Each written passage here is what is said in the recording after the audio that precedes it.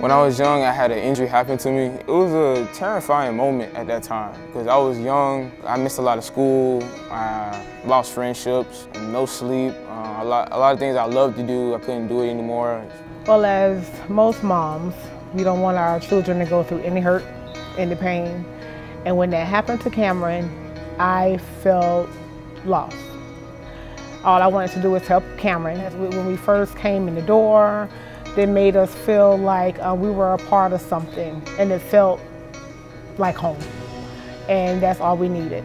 It was actually the first people my mother and I actually thought of contacting. I, I could truly say Mr. Graves and Mr. Thomas was really here to help me and be like a mentor when I needed them. Because of what happened to Camren, um, I feel that um, they played a big important role into the man that Camren is today. So I thank the whole law firm for coming in at a time where I feel that was very crucial.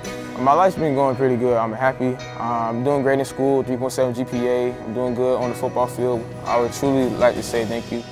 Matthew and I both truly and deeply care about our clients. It's not just showing up and looking at a name on a file or a number on a file. We care what happens to them. We care about their future.